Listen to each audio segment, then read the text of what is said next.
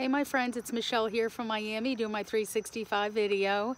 It is Tuesday and um, get my new my hat on, my scarf on, and uh, hopefully I'll be in some cool weather in just a few days. So it's Thanksgiving. I always tell everyone, always say what you're thankful for before every meal. I try to, whether it's in private or I share it with whoever I'm having uh, my lunch, dinner, snack, or breakfast with. Anyhow, Michelle from Miami, Always be thankful. Find something great to be thankful about. It could be something little, simplest things. It's all about being grateful. And we don't have to wait for Thanksgiving Day to be grateful. Um, have a great afternoon. Be safe. Michelle from Miami, 365 video.